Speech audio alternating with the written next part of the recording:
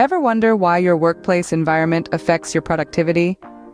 The answer to this question can be traced back to one influential figure in management theory, Elton Mayo.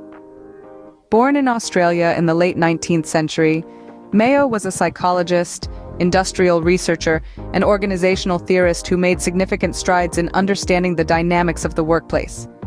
His landmark work, the Hawthorne Studies, conducted during the 1920s and 1930s, shook the foundations of traditional management thinking. These studies explored the influence of social factors and employee satisfaction on individual and group performance. Mayo's findings led to his human relations theory, which emphasized the importance of people in the workplace over machines or systems. His work has had a profound influence on management practices, emphasizing the importance of employee motivation and teamwork. Elton Mayo, a pioneer in human relations, forever changed how we view work and productivity. So what exactly is Mayo's human relations theory? Let's peel back the layers of this concept. At its heart, Mayo's theory places great importance on the social factors within the workplace. He believed that these social elements had a significant impact on worker productivity, a perspective that was quite revolutionary in his time.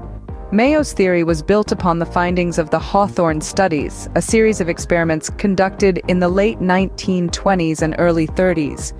These studies were divided into four phases, each revealing fascinating insights into worker productivity.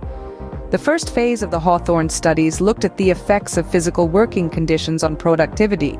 Surprisingly, Mayo and his team found that changes in lighting, temperature, and even work hours had little to no impact on output. The second phase, known as the Relay Assembly Test Room experiments, revealed something unexpected.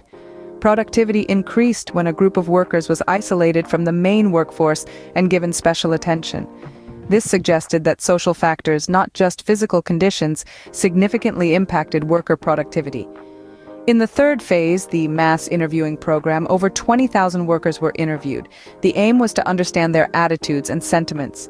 Mayo concluded that workers were not merely cogs in a machine, but had social needs that were as important as their economic needs.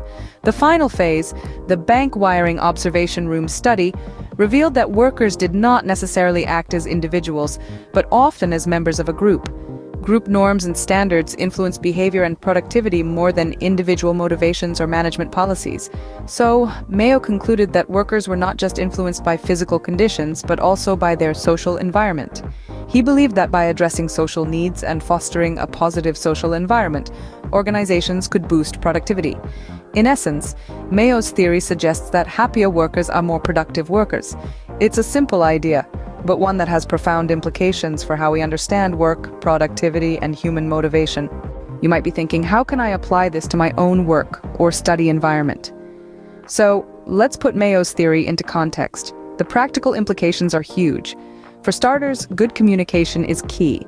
Whether you're in a classroom or a boardroom, the ability to express ideas and concerns freely can significantly boost productivity.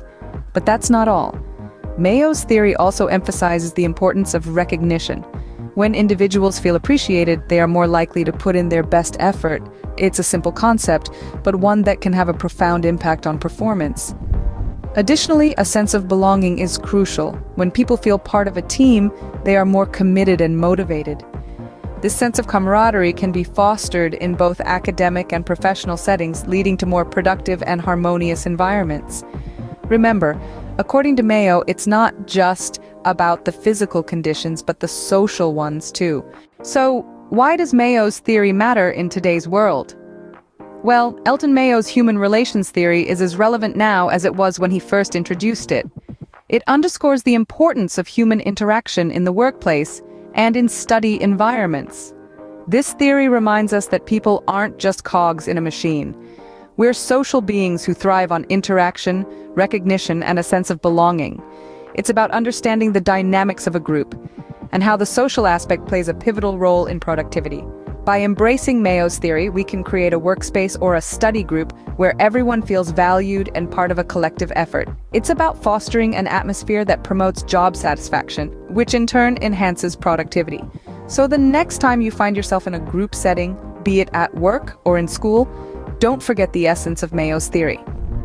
As Mayo's theory shows, it's about much more than just hard work. It's about creating an environment where people feel valued and part of a team.